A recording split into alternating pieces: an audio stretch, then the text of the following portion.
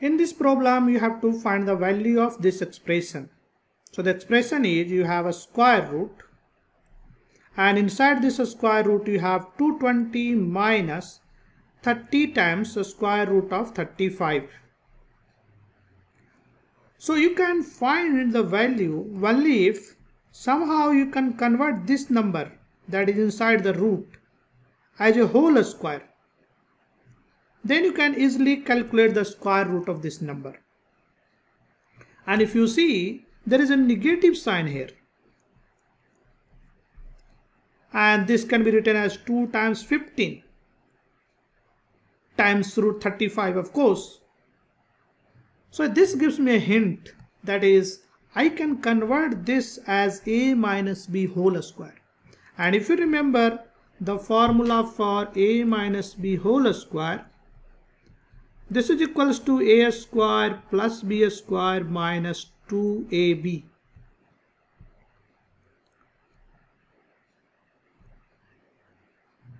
So if I see, I can say that this term is nothing but a square plus b square. And this term is nothing but minus 2ab. So if you see this minus sign is there. So this term is 2ab. So now you have to find yourself two numbers a and b such that product that is 2 times a times b is 30 times root 35 and if you square and sum then this becomes 220. So how will you solve this? So to solve this problem we will first factorize the second term. So 2 times 15 and 15 can be written as 3 times 5 and root 35 can be written as 7 times 5 and now you know the rules of power that is root a times b is equals to root a times root b. So if I use this rule I can say this becomes 220 minus 2 times 3 times 5 times root 5 times root 7 now see, this is the critical step, key step. Now you have to find, so this is 3 into 5. You have to find these two numbers such that if you square this number and this number a square and sum, then this comes 220. So you do trial and error. Take 2, 3 times and then you will find this number.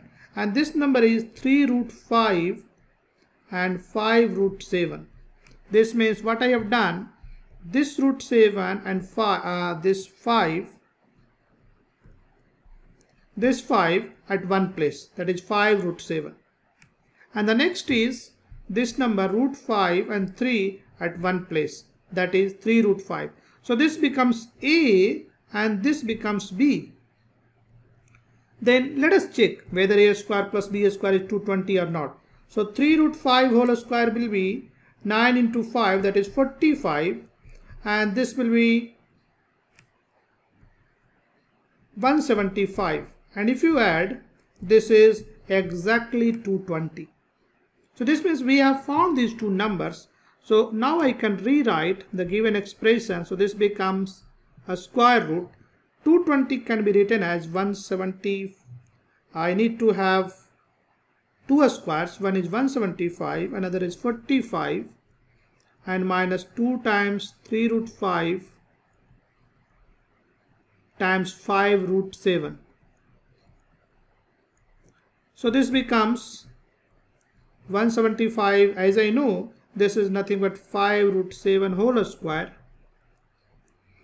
and 45 is nothing but 3 root 5 whole square and this is nothing but 2 times a times b that is 2 times 3 root 5 times 5 root 7. So now I can say this can be written as 5 root 7 minus 3 root 5 whole square. So if you take positive square root, this will be simply plus 5 root 7 minus 3 root 5. So this is the answer for this problem. You can also consider the negative root but generally this is considered as a positive square root. So this symbol denotes the positive square root. So this is the positive square root and that's why I have taken positive number as the answer for this problem. So I hope you enjoyed this video and if you enjoyed, please share with your friends, like this video and subscribe to my channel. Thanks for watching this video and I will see you in the next video.